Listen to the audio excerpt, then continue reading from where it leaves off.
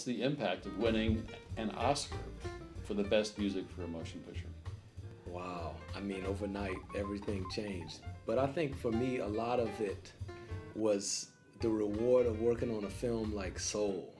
It's such an amazing thing. It ties together everything, as you can see now from this show tonight, it ties together everything that I really am all about. The big existential questions about the soul and our purpose in life and where we come from, jazz and music, and all of the, the great things that we got to do in that score to see it at the time in the world that it came out in, at the end of 2020, after we had been through so much, to have it reach so many people and give them some light. And for that to be the thing that we're awarded so heavily for, I mean, it, it's it's it's so transcendent, and I'm so humbled by it. And it's such a beautiful film. Everything about it. Oh, thank you so much. I, I am um, I'm honored to have been able to work on. We were a family for two years working on that film, and uh, I still keep in touch with everybody, and we look forward to just seeing how over the years, you know, Pixar and, and their films are like mythology for kids. So over the years, to see what the legacy of the film will be, will be quite um, an amazing thing. And a, and a short aside, uh, just a story after the Oscars, the day after I went to visit Herbie Hancock, who was the first black composer to win the Oscar for Best Original Score. And I'm the second, and he won the year that I was born.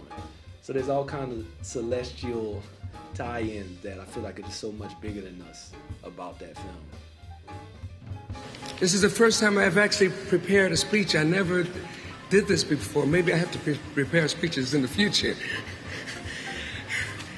In, in accepting this award, I salute the same unsung heroes that you so boldly have chosen to applaud. Some are with us today and some are not. Many have suffered and even died for this music.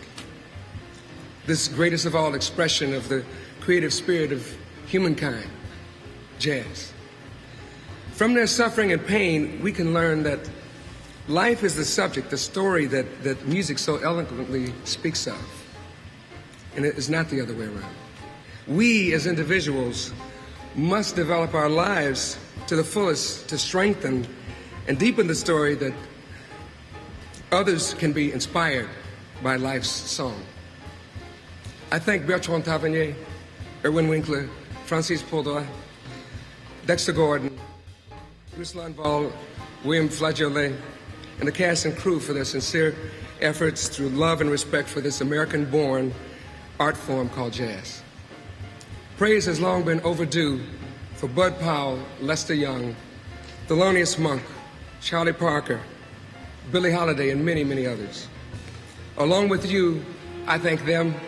Along with them, I thank you.